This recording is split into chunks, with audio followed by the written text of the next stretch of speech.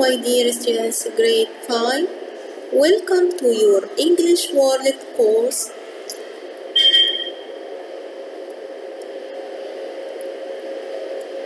Today we will study Unit 3 Tunnels and Bridges.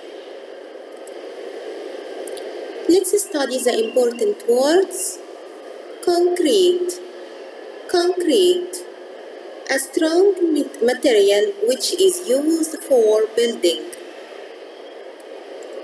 Bulldozer. Bulldozer is a big machine which can move earth. Crane. Crane. Crane is a machine which can lift heavy things. Shallow. Shallow means not deep. Tunnel. Tunnel. A long tube which goes through hills or under rivers. Cable. Cable. It's a very strong metal rope. Engineer. Engineer. Engineer is the person who designs and builds bridges and tunnels. Let's study the grammar of Unit 3. It's about the passive voice with present simple.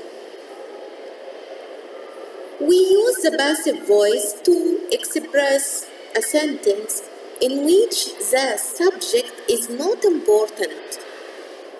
The object here is more important than the subject. So we begin with the object in the passive form.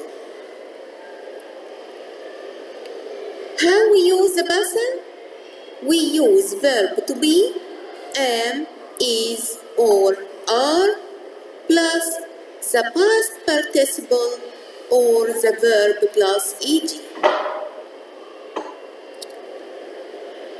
For example, I am not often asked. He is asked. She is asked. It is asked. If you notice here, verb to be is followed by the past participle form of the verb. We use asked here, we use the ed form as it is a regular verb. You are asked, they are asked. The verb ask is a regular verb. Let's study another verb. It's an irregular verb. The verb break. The past participle of break is broken. We can say, I am broken. He is broken. She is broken. It is broken. You are broken. They are broken.